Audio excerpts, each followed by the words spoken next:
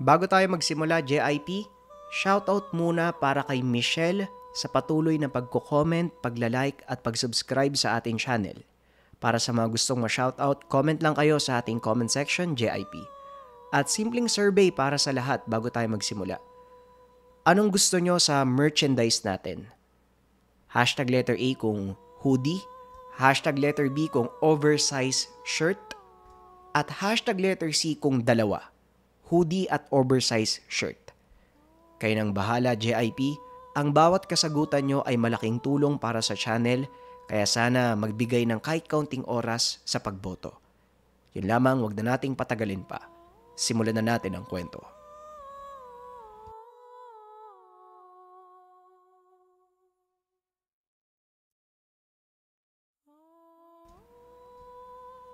Ang kwentong ito ay hango sa totoong buhay.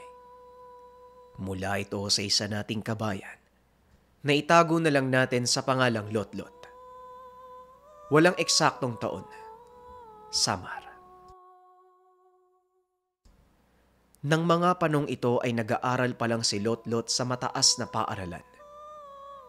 Alas 4.30 pa lamang ay naglalakad na dahil dalawang oras pa ang babaybayin papasok ng paaralan. Madalas marami naman siyang nakakasabay dahil kakaunti pa lamang ang may sasakyan doon sa lugar. Kapag araw naman ng Sabado at Linggo, sumasama siya sa kanyang ama upang magpalaot.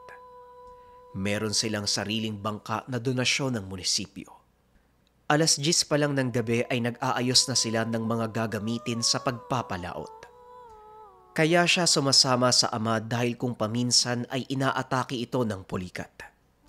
Wala namang reklamo si Lotlot dahil sa murang edad ay namulat na ito sa kahirapan. Madalas natatapos sila manghuli ng mga isda alas tres ng umaga. Hindi sila kagad umuuwi ng tahanan dahil dumediretso sila ng palengke upang ibenta ito. At kapag maswerte, hindi pa man umaabot sa palengke ay ubos na ang paninda. Alas 5 ng umaga, umupo si Lotlot sa likuran ng kanilang tahanan. May matataas na puno ng nyog doon sa lugar at nababalutan ng mga bato at tuyong dahon ang lupa nito. Biglang may lumipad malapit sa kanyang paa na napakaliit na ibon. Sinubukan niya itong habulin ngunit hindi niya na mahanap dahil kakulay ito ng mga bato. Ano ba yan? Sayang naman oh, hindi ko nakuha. Wika ni Lotlot. Mahilig siya sa mga ibon at sa katunayan meron siyang pitong alaga. Pagkatapos ng kaganapan ay muli siyang nanahimik. Hindi niya maalis sa isipan ang nangyari sa kanyang ina na si Aling Senya hindi na ito makalakad ng maayos. Gawa ng halos parang ibon na ang mga binti nito. Habang lumilipas ang buwan, unti-unting lumiliit ang mga binti nito na tila nauubos ang laman. Dahan-dahan ding lumulukot ang mga daliri nito sa paa na parabang ibon na nakadapo sa kahoy. Naniniwala sila na nangyari ang lahat ng ito matapos ang kanyang ina na merong nakasagutan na isang matanda. Itago na lang natin ang pangalan ng matanda bilang Laura. Nangyari ang nasabing sagutan dahil ang ina ni Lotlot ay dumadaan ng mga panong ito sa tinatawag na postpartum. Ito ay ang pagbabago ng emosyon na nararamdaman ng isang babae kapag bagong panganak. Kakasilang pa lang ng bunso niyang kapatid ng mga sandaling ito at nakapagbitaw ng masasamang salita ang kanyang ina kay Tandang Laura. Sinubukang puntahan ni Lotlot ang matanda. Ngunit ayaw ipakausap ng mga anak niya si Tandang Laura. Sinubukan niya pang lumuhod sa harapan ng tahanan. Ngunit wala din itong mabuting na idulot dahil galit talaga ang pamilya sa kanyang ina. Kaya naman malaking palaisipan para kay Lotlot kung paano niya makakausap ang matanda dahil ito lang ang magbibigay ng solusyon sa dinadanas na hirap ng nanay. Hanggang sa dumating ang isang araw, habang bumibili si Lotlot ng bigas sa isang tindahan, nakarinig siya ng usapan ng albularyo at isang binatilyo. Alam mo, Iho, swerte ka sa mundong ito kapag nakatagpo ka ng mutya ng kandarapa. Wika ng matanda. Ah, mutya ng kandarapa? Ano naman po ba yun? At saka paano po yun makuha? Tugo ng lalaki. Ang kandarapa ay isang ibon na gising lamang sa gabi. Maaari mo yung makita dyan sa puno o dalampasigan. Tapos kapag nakapa mo naman ang itlog nitong may sabulag, agad mong balutin ng itim na tela at gawing kwintas. Naalala ni Lotlot ang ibong dumapo sa paa ay isang kandarapa. Hindi niya ito masyadong pinansin at umuwi na lang ng tahanan. Paglipas ng dalawang buwan ay ganun pa rin ang pamumuhay ni Lotlot. Mas lumubha ang kalagayan ng ina at tuluyan ng hindi nakalakad at lagi na lang umiiyak. Alas tres ng madaling araw ng linggo. Hindi na siya sumama sa palengke para magtinda sapagkat inabot na siya ng matinding antok.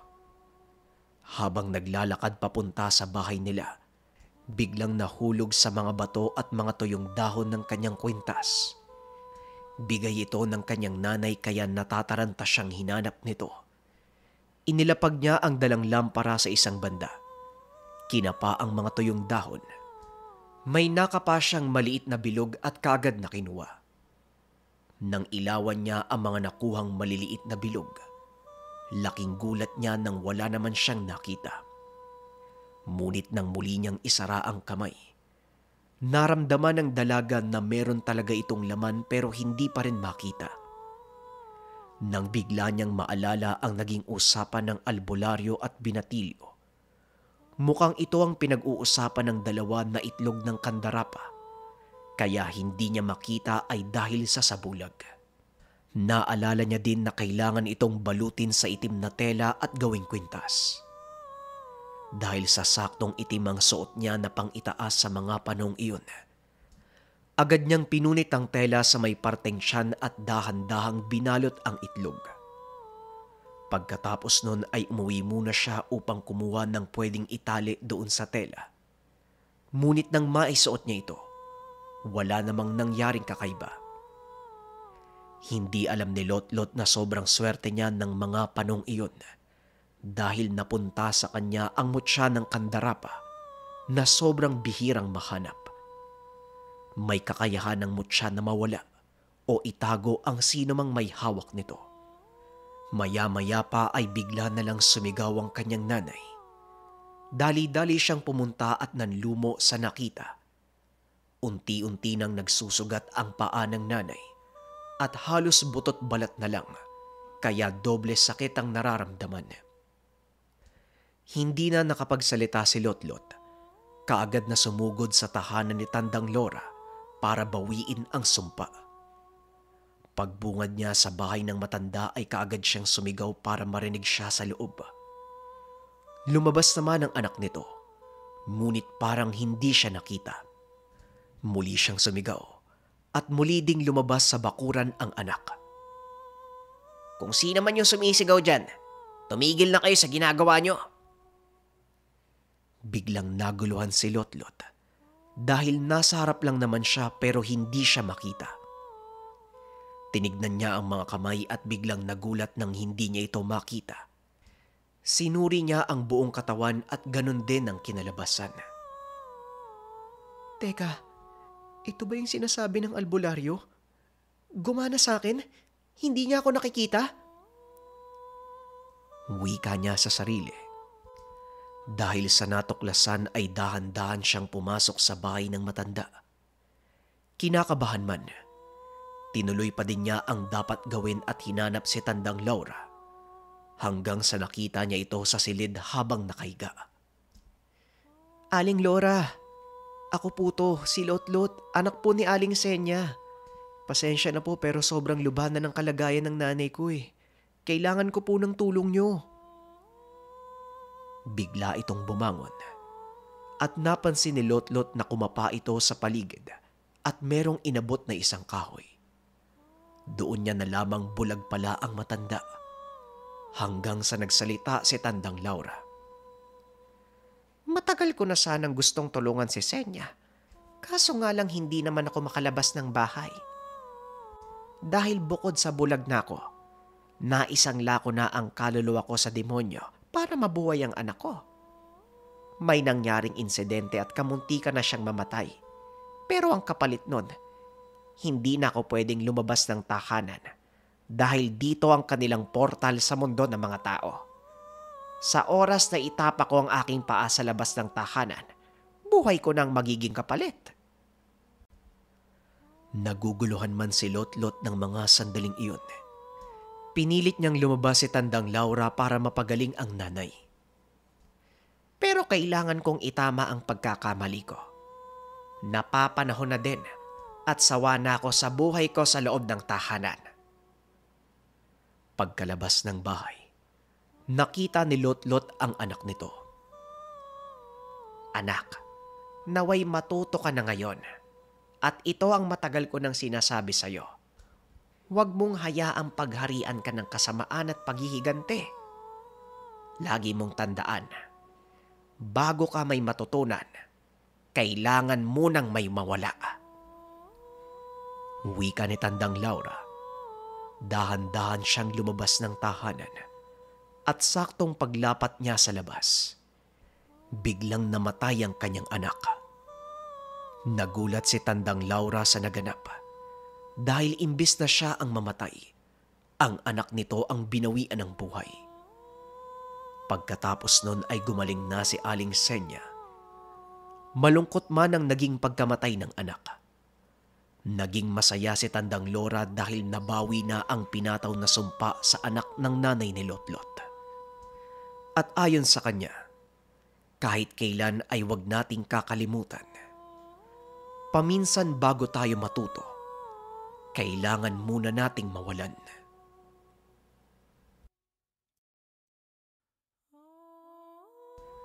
Ang susunod na kwento, mula ito sa isa nating kabayan na itago na lang natin sa pangalang Kaloy.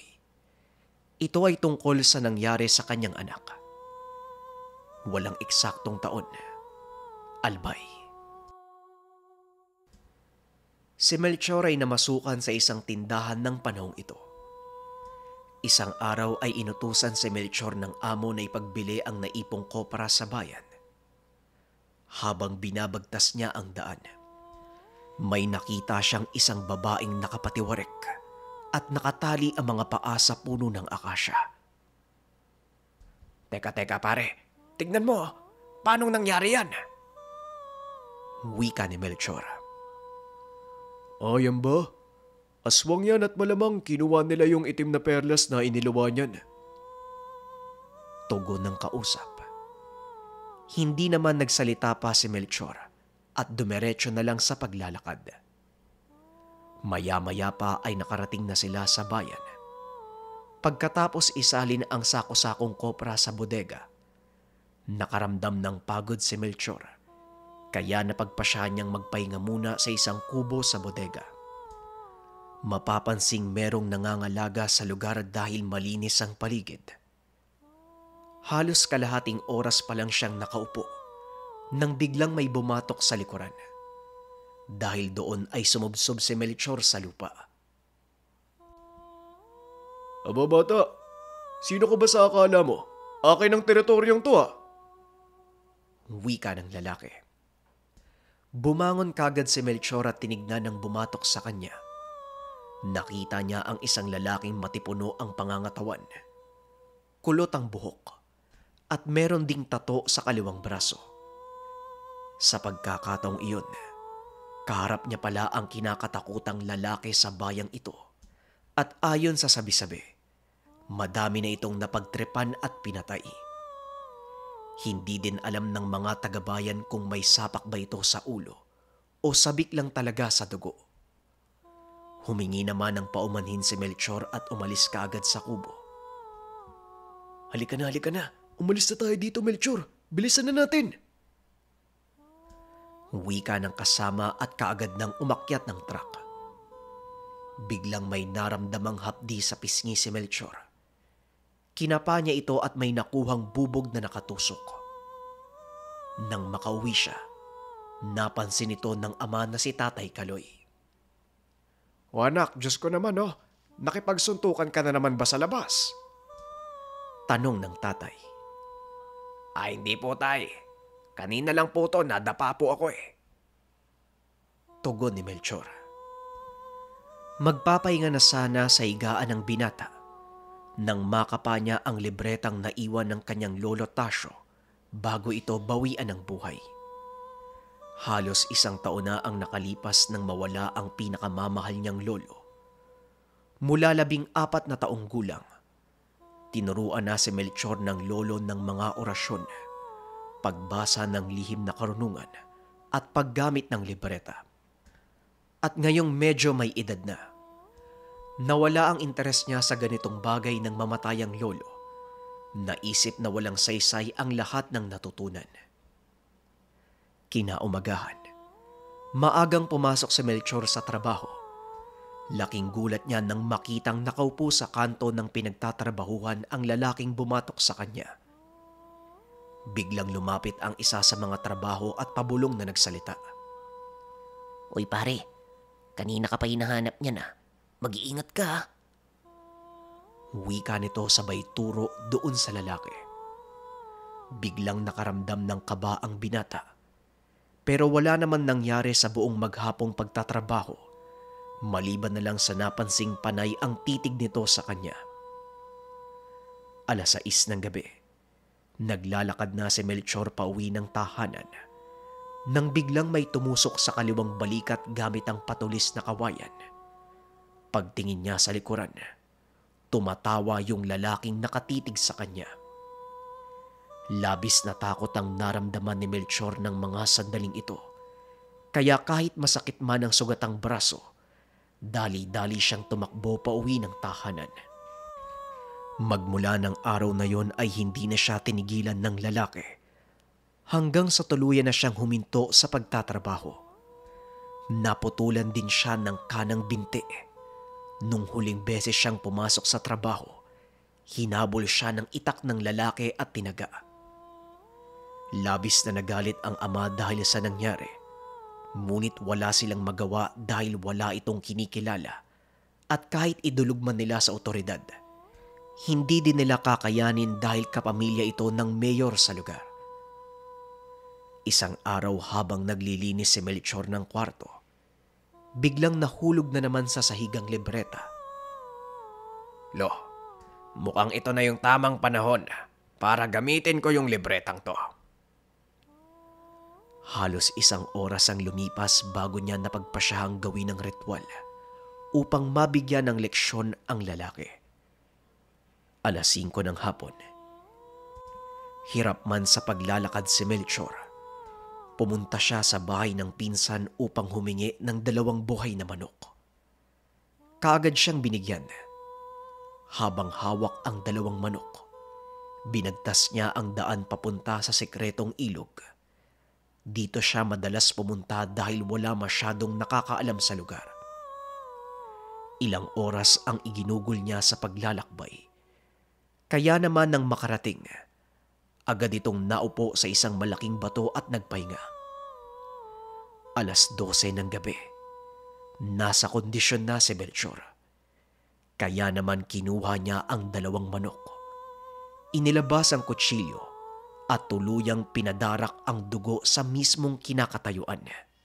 Gumawa siya ng poder sa paligid na magsisilbing depensa kung sakaling merong manggulo sa kanya.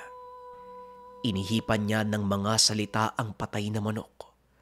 Nagsinde ng pitong kandila at gumawa ng pabilog sa lugar. Pagkatapos nun ay muli siyang nagbanggit ng mga orasyon. Biglang nanghina ang kanyang katawan. Nauna ang ulo sa pagbagsak sa lupa. Hindi naman siya nawalan ng malay kaya nagpatuloy siya sa pag-uusal.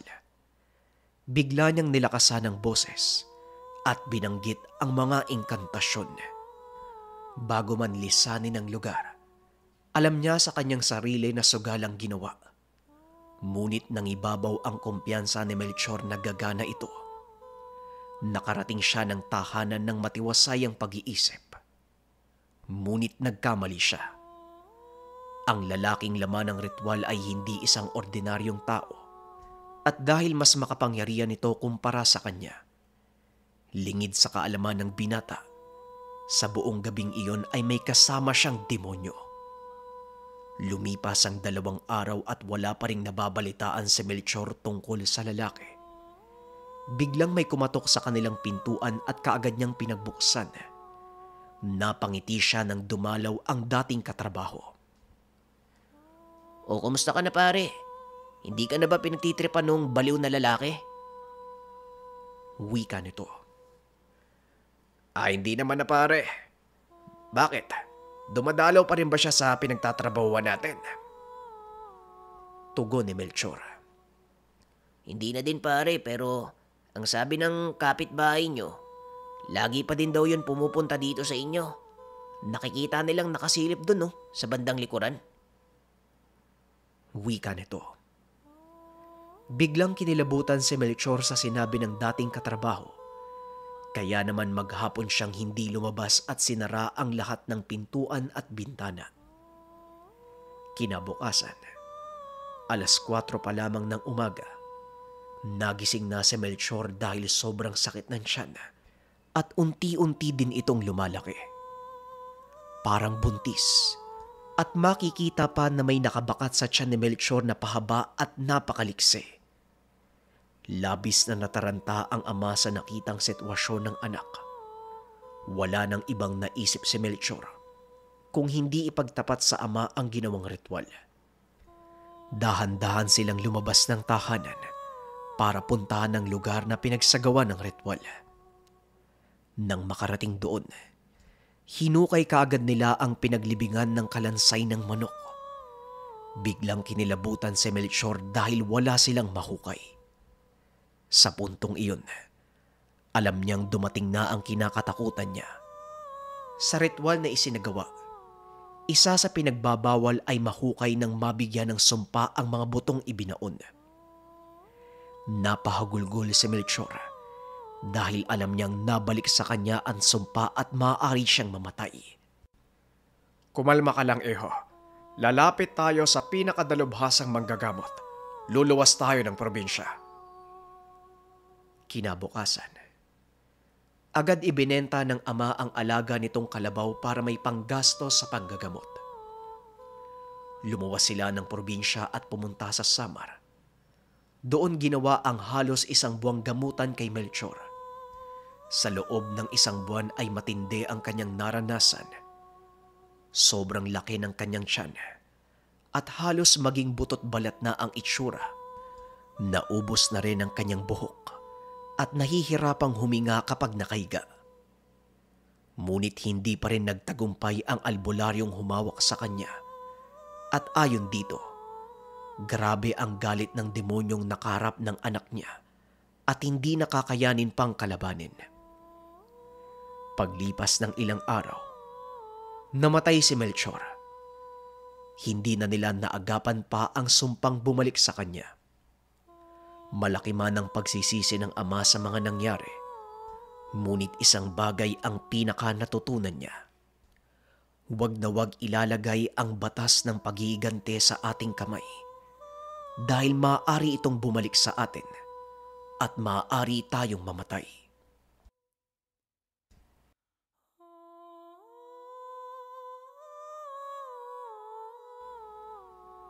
Ang masasabi ko lang sa kwento, JIP, ang pinakapunot dulo, paghihigante. Ito yung, ano eh, yung pinakaugat.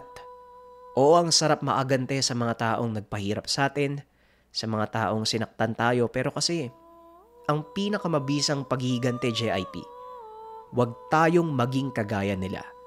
Huwag tayong pumarehas sa pag-uugali nila. Hayaan natin ang Ama ang magbigay ng kaukulang parusa sa mga masasamang bagay na ginawa sa atin. Yun lamang JIP, maraming salamat sa paikinig at iniimbitahan ko kayo na mag-follow sa ating FB page na JD. Yun lamang, paalam.